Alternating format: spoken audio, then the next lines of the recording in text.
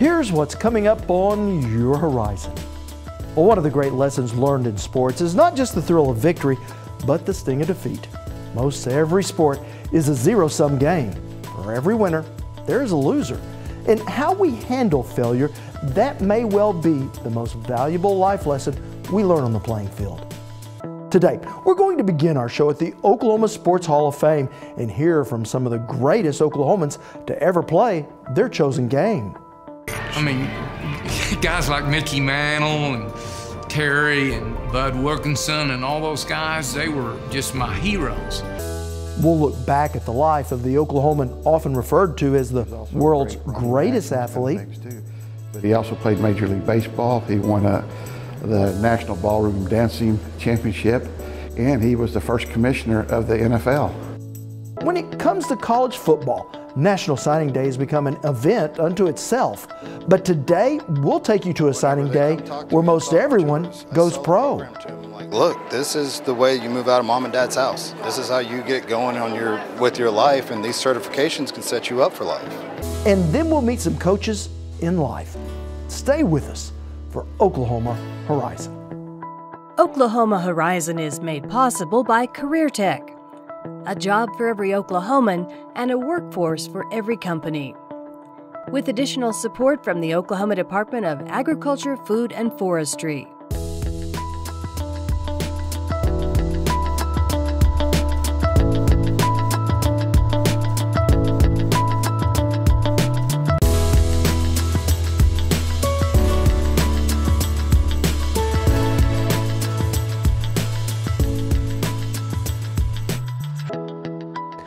Everyone. Thanks for joining us here on Horizon. I'm Rob McClendon. Well, Oklahoma is home to some sports superstars baseball legends Mickey Mantle and Johnny Bench, Olympic medalists Shannon Miller and John Smith, and football greats Troy Aikman and Steve Largent, all honored at the Oklahoma Sports Hall of Fame. It's a one of a kind museum that highlights some of the state's greatest athletes with a special emphasis on Oklahoma's greatest athlete of them all, Jim Thorpe. When you think of Oklahoma's best athletes, any number of names can come to mind. But when you think of the state's greatest athlete, there is only one. Well, Jim Thorpe is a, is a legend, uh, not only in, the, in Oklahoma or, or in the country, uh, worldwide he is. And he just, you know, he was designated as the world's greatest athlete in, in the 1912 Olympics. And his history is just the one of, of achievement, hard work, and, and more achievement.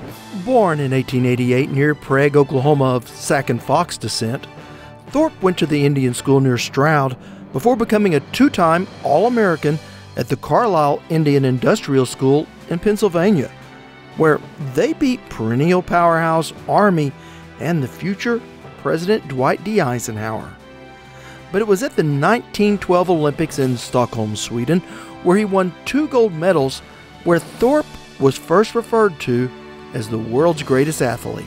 You know, a lot of people don't realize that besides uh, football, he was one a great football player, a great defensive back. He was also a great running back and those kind of things too. But he also played Major League Baseball. He won a, the National Ballroom Dancing Championship, and he was the first commissioner of the NFL. In fact, it is a larger than life statue of Thorpe that sits in the rotunda of the Pro Football Hall of Fame in Canton, Ohio. Still considered one of the most versatile athletes of modern sports, each year the best college defensive back in the nation is awarded the Jim Thorpe Award. Found, we're one of the founders of the National College Football Awards Association. That's the Heisman, Jim Thorpe Award, uh, Davy O'Brien, the Maxwell Awards, all, all of those. So uh, we've been involved with that for, since 1986. Uh, they'll see the, the Paycom Jim Thorpe Award as they walk in the, in the door here. They'll see all the great athletes that's been, been selected as, the, as a Jim Thorpe winner around, around the walls. Thorpe continued to play professional sports well into his 40s, but hit hard times after his athletic career ended. But here at the Jim Thorpe Museum and Sports Hall of Fame, it is his athletic achievements that are enshrined. One of the favorite things that we have here that for me is in 1912 they, they gave uh, not only the gold medals but they gave wrote parchments that, that told everything. We've got them uh, framed over here. We still have those original ones uh, on the wall here. So for people to see and look at. Well, the museum also has replicas of Thorpe's Olympic gold medals in the pentathlon and the decathlon, which were not easy to come by. Thorpe was stripped of both medals when it was found he had violated the strict Olympic amateurism rules of that day. But 30 years after his death, it was Oklahoma Governor George Nigh who convinced the International Olympic Committee to restore Thorpe's Olympic gold. Now, when we return, we'll hear from more of Oklahoma's sports greats and take a look around the Sports Hall of Fame. You're watching Oklahoma Horizon with Rob McClendon. Weekly insight into your changing world. Well, the Oklahoma Sports Hall of Fame is a one of a kind facility that honors hundreds of great Oklahomans. The museum highlights some of Oklahoma's greatest athletes and some of its greatest sports history. Eddie Griffin is the president of the Oklahoma Sports Hall of Fame. We just have a, have a ton of people from Oklahoma that uh, the culture of Oklahoma, and I, I always say this when we go to the College Football Awards Association, they came in the other day when we met and they said, what are you guys doing in Oklahoma? And I just told them it's the culture in Oklahoma. It's just hard work and, and uh, doing the right thing at the right time and making sure you're, you're there when you're supposed to be. So it's, uh, and I think, I think relating that back to kids that come through the museum here, that's what we try to tell them. You can get there from here. Wherever you want to go, you can get there from being from Oklahoma, whether it's uh, sports and athletics or arts or, or whatever you're going to try to do in your life, you can get there.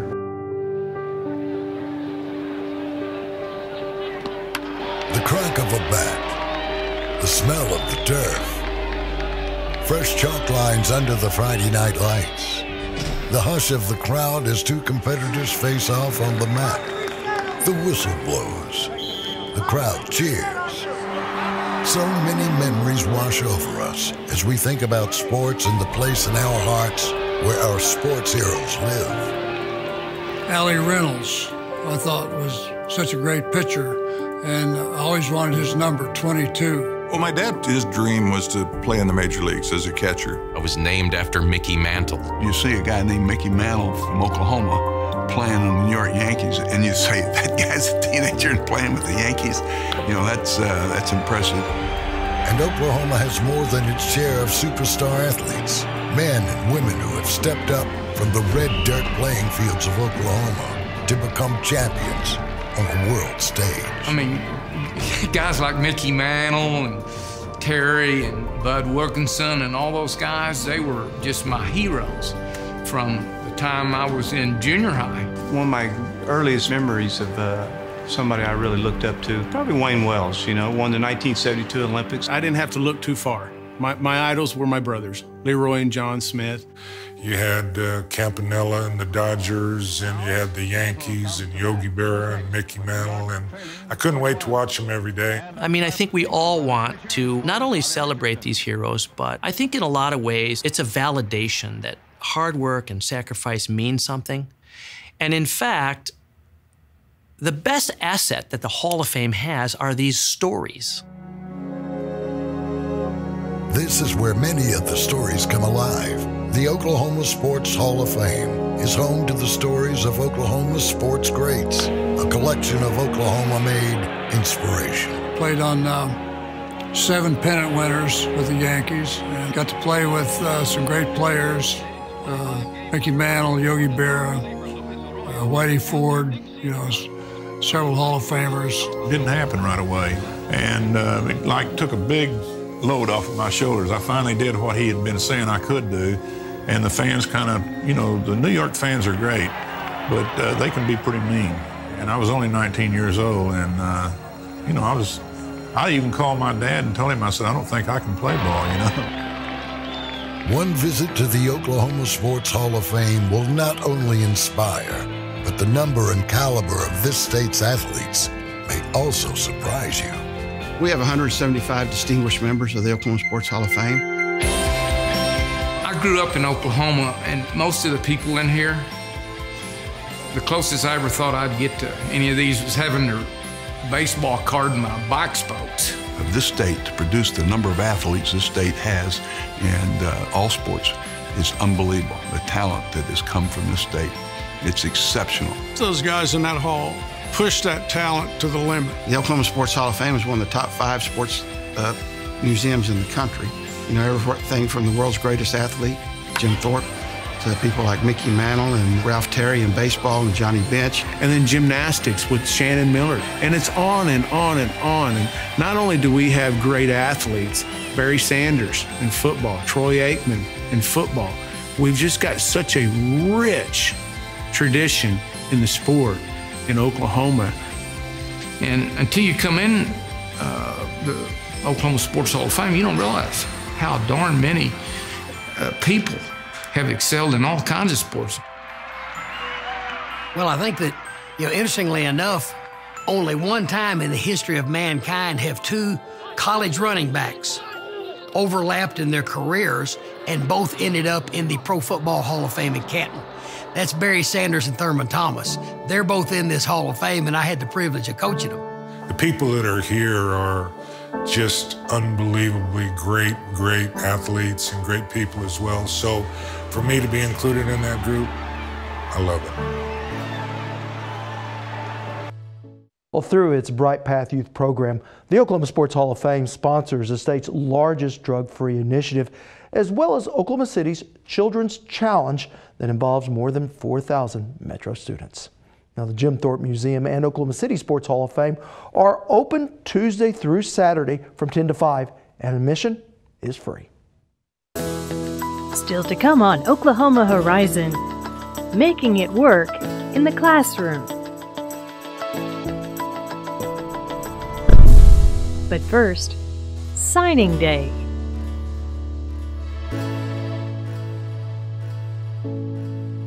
Well, many boys and girls grow up dreaming of playing sports in college and beyond, but few do. Of the nearly 8 million students currently participating in high school athletics in the United States, only 480,000 will ever compete at the NCAA level. And of that group, only a fraction will realize their goal of becoming a professional or an Olympic athlete. Take, for instance, football. Right over a million young men played high school football last year, but only about 73,000 will ever play in college. And when you do the math, that figures out to be just 6.8%. And of those college football players, only 1.5% will ever make it to the pros. Yet when it comes to college signing day, we now celebrate it almost as much as we do the game, which is why some Oklahoma Tech centers have put their own twist on going pro. This may look like a fresh batch of young athletes signing on their intent to play for a top college team, but here at CV Tech in El Reno, this signing day is a little bit different. We do signing day this way because we want to focus on the student. Gayla Lutts is the deputy superintendent of CV Tech. We want them to know what an honor it is to be a part of Career Tech. We want them to know what an honor it is to, to be chosen. It may not be a traditional athletic signing day, but there are many similarities. Much like the high bar college athletes have to go through, not every student that applied made it into these CV Tech programs. And these teens are making a decision that will impact where they go in life. David Venard is an automotive collision technology instructor. This is the first adult decision they get to make. I mean, they're taking the initiative to take that first step of their life, and it's just the sky's the limit. But David says that's where the similarities end. Unlike athletics, where only a tiny percentage of college athletes make it to the pros, these teens could easily set themselves up for a lifelong career. Whenever they come talk to me in sophomore tours, I sell the program to them like, look, this is the way you move out of mom and dad's house. This is how you get going on your with your life, and these certifications can set you up for life. And the moms and dads of these teens are obviously thrilled by this concept. Marka and Scott Dyer's son Tanner plays football for Yukon High, but has signed up today to enter the electrician program. We're just happy that he picked something that can benefit him in the future once he graduates. Just to give him an opportunity before he even gets out of school, he's already got a trade. He's already knows what he's going to do. It's just something I've been wanting to do because my dad was doing it for a little bit, so it's just that's just what I kind of want to do. I am super excited for Cooper. Krista Klontz is another newly minted, proud Career Tech parent. He really tried really hard to get into the welding program, Uh, was excited about his interview. His family is welders, my husband and his dad and uncles, so he's very excited to continue on with the tradition. And the signees themselves have a variety of reasons for taking up these courses. Addison Ryburn wants to take his passion to the professional level came here when I school came here, and I saw that we, they were building computers, and I was really interested. I've built my own computer before, and I was like, oh, that'd be cool to get certifications to do this so I can do it as a job. And his father, Adam Ryburn, professor at Oklahoma City University, agrees. That's how you get jobs. Um, in order to make money, to be a, a productive member of society, you got to have that piece of paper saying that you've done something. They're leaving here at the age of 18 with that credential. They don't have to wait until they get to college and get a college degree to get that credential. And that credential is also going to help them get through college as well. I started here in 1976. Don DeWald is a longtime computer information technology instructor and former Career Tech student. I did a year of college and it just, I wasn't ready at that time. And uh, and so a friend of mine told me about Moore Norman Tech. I took their electronics program. In eight months, I started my first job. Within three years, I was working for IBM. I've spent over 40 years working with computers based on that eight month program I got in electronics at Moore Norman Tech. While the programs have, of course, evolved with technology over time, Don says what hasn't changed is these students signing today can expect some real career results and that's thanks in part to their industry partners. A Dell representative spent probably 30 hours in our class this year. They showed them, here's what we want in a resume, this is what we're looking for. They showed them, uh, here's uh, interview questions. Dell is more than happy to help, since these budding computer engineers are just what they need in job applicants. Dell will give them $3,000 a year tuition reimbursement. They've certainly got money to pay for their college. And so whether they, they feel forced to do it in four years or if they take five, six, or seven years, at the end they've got no college debt. Uh, they've got a great career. One, two, three. And Adam Ryburn says that's what makes this signing day all the more remarkable. To have that in a different situation and, and, see the excitement on the students who are going to be going to a place to learn a trade that they're going to make money at uh, immediately out of school um, is just really cool.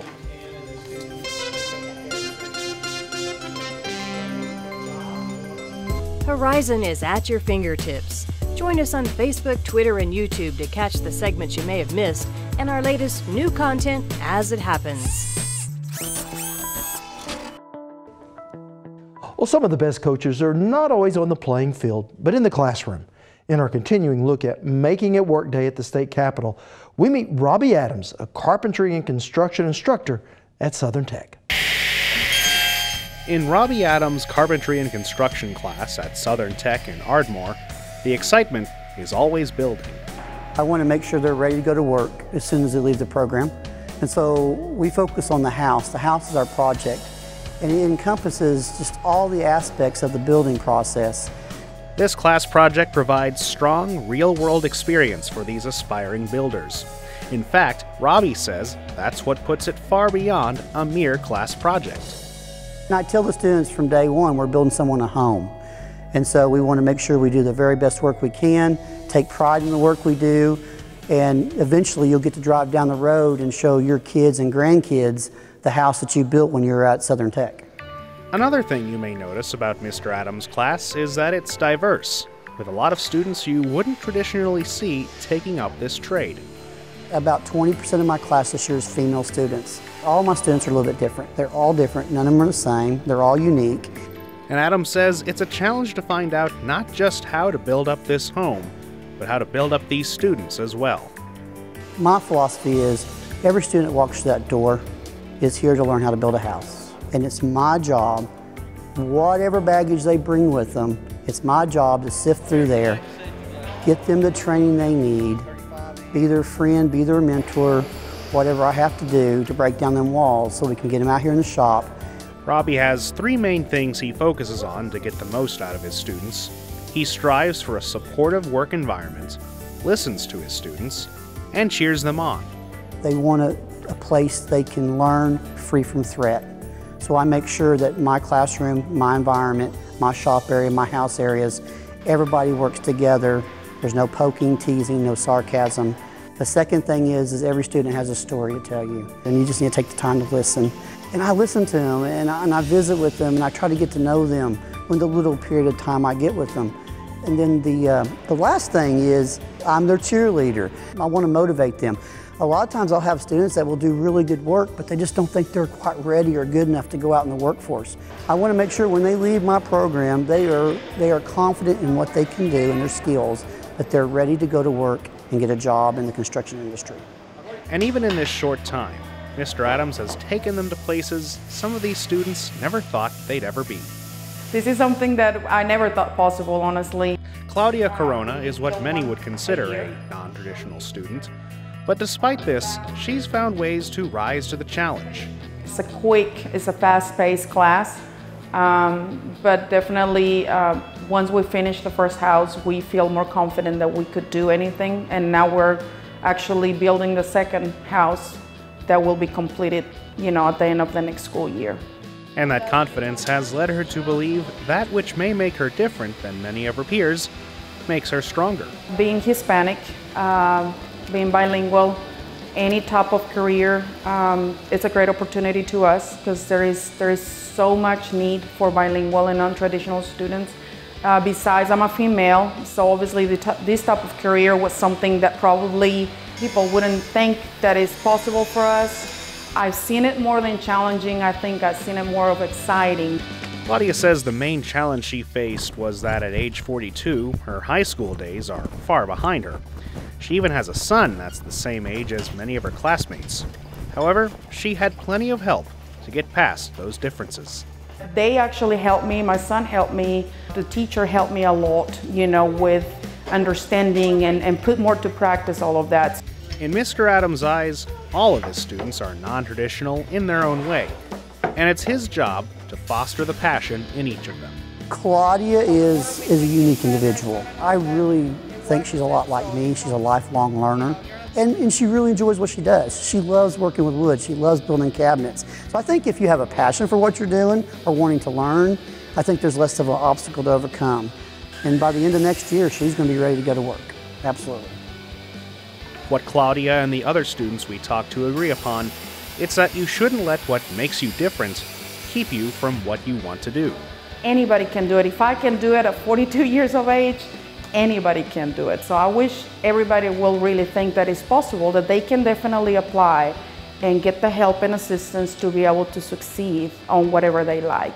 You take a bunch of high school kids that's never picked up a hammer, and they built that house that's sitting outside. It just, to me, that's just amazing. I just start preaching from day one. We want to be accurate, we want it to want to look good, and we want to make sure the craftsmanship shows in your work. Let's pretend you're not a bunch of high school kids that's never picked up a hammer or used a saw. Let's pretend that we're seasoned carpenters as we're building this house. And it actually kind of it works.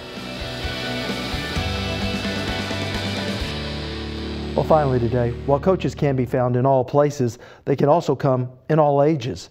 Our congratulations go out today to Broken Arrow High School's Jada Holliday for being named a U.S. Presidential Scholar.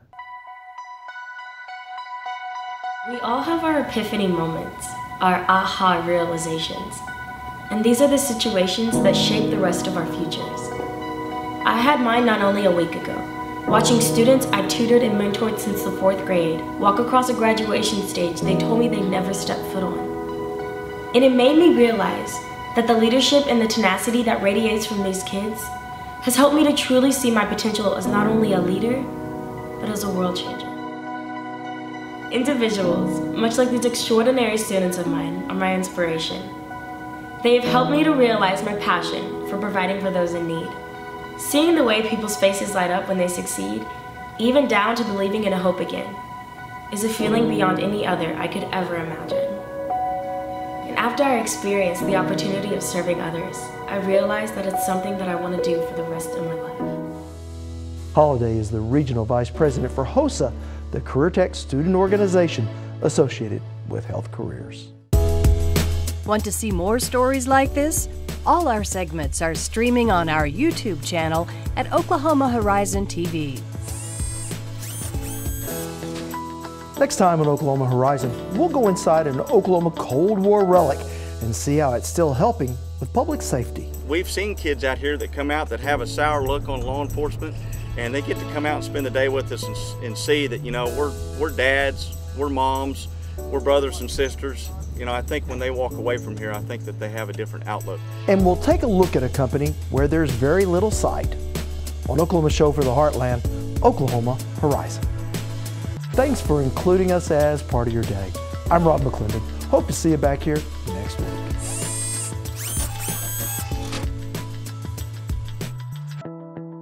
Oklahoma Horizon is made possible by the Oklahoma Department of Career and Technology Education.